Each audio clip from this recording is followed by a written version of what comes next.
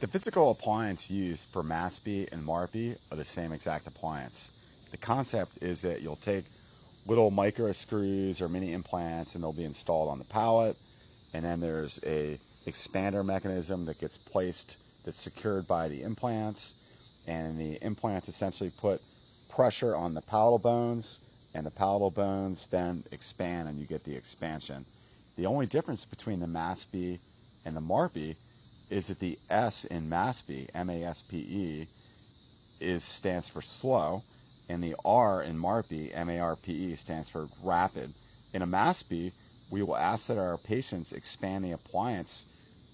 enough just to stress the connection between the right and left sides of the palate, essentially stretching or barely opening up the suture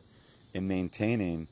the minimum amount of pressure throughout the course of expansion without causing wide separation between the palatal bones. When it comes to MARPE, we will apply a lot more rapid, heavy pressure with the purpose of actually splitting wide open and creating measurable space between the right and left palatal bones. At the end of a MARPE treatment, we'll typically have you know six, seven, eight millimeter separation between the right and left sides of the palatal bone, and we'll have to hold the appliance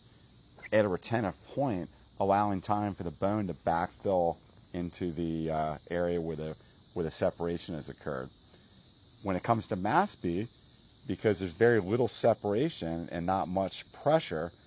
the bone formation is fairly well paced with the uh, movement of the palate, and there's not a long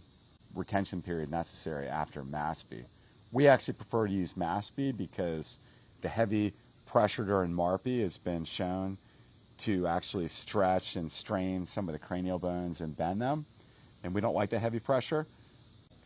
With the MASPE, the pressure is light and it does not end up creating quite the cranial strain and the bending of the bones and the pressure.